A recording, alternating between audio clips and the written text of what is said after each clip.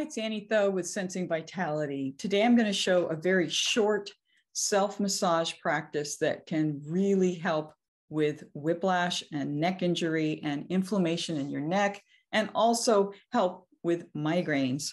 So you're going to rub your hands.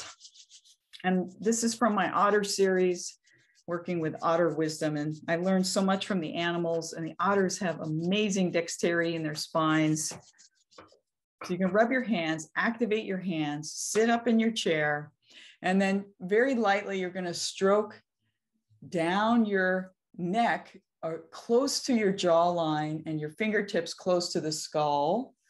Just a little warm up stroking under your chin. Yeah. And the otter has the most dense fur of any animal, uh, up to a million hairs in like a little square inch or so.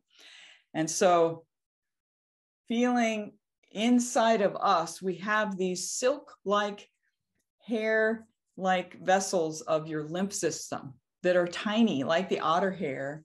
And when your neck gets swollen, this area gets congested. And so we're going to just gently pull and tug the skin and very lightly, these little silk hair little vessels. We're going to just stimulate them slowly, one hand at a time, makes me salivate. Um, and then reaching around. And if you need help, put your other hand under your elbow to reach behind your neck toward the back of your skull and just gently tugging the skin with the flat of your fingers. So don't grip your hand, but lightly tugging. Great for your skin as well because this will help the fluids come to the skin. So if your skin is really dry, this will help the oils and moisturize your skin. You could put a little lotion on when you do this too, or a little oil. You don't need it though. And the idea is just to activate your lymph system here. And you're not going to do it too long. Yeah. Now we're going to do the second time slower. So switch. And if you want to rest your elbow in the other hand, just to kind of relax your shoulders. Let's go slower. It's funny, we you think we'd start slow, but our minds are fast and it's easier to start a little quicker and then slow down sometimes. you can close your eyes if you want and just stroking down your neck and reach behind a little bit so you get the back of your neck. Our lymph system is, is our waste product system. It collects all the fluids right under the skin.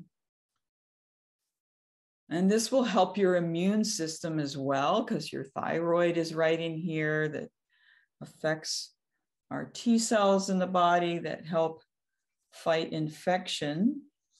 So come around all right. And then let's finish with stroking. All right.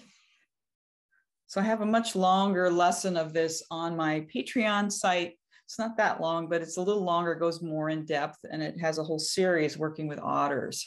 All right. But let me know how this is for you. Go ahead and stroke all the way down. And really come inside your body and your mind. You can stroke your head now wonderful way to start the day, actually, to clear this area and connect your head to your heart. Thanks for joining me. And I really appreciate your thumbs up and subscribing. And if you'd like more, check out my Patreon. And I appreciate the support from patrons that are supporting this work. Thank you so much, and I'll see you next time.